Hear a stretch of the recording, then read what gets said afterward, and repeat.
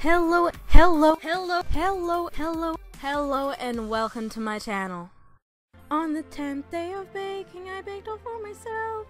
10 brownie biscotti, 9 pecan shortbread, 8 peppermint cheesecake, 7 snickerdoodle, 6 eggnog cheesecakes, 5 shortbread, 4 almond rings, 3 cinnamon rolls, 2 red velvet trifles, and an old-fashioned gingerbread. Hello and welcome to my channel. I'm going to be making brownie biscotti. These are great gifts, or just if you want to eat it yourself, like you can you can do that too if you want.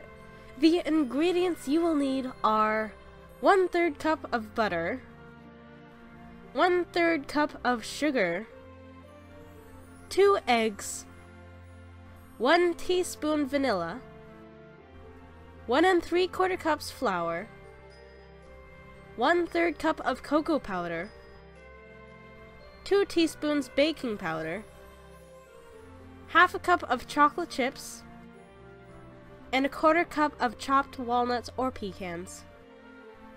In a large bowl, blend 1 3rd cup of butter and 1 3rd cup of sugar together.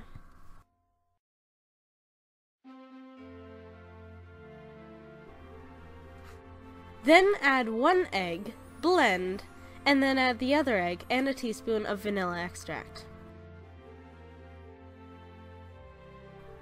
In a separate bowl, whisk together one and three quarter cups flour, a third cup of cocoa powder, and two teaspoons baking powder. Pour half the dry ingredients into the wet, blend, and then blend the rest. Add the chopped nuts and half cup of chocolate chips. Mix with your hands since it would be too hard for a mixer until it's well blended.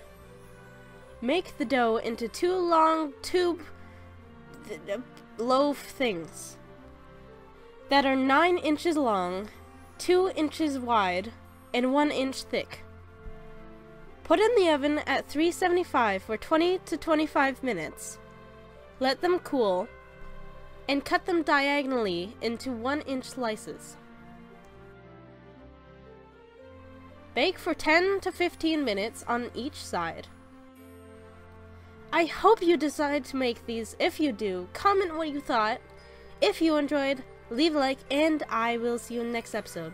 Bye!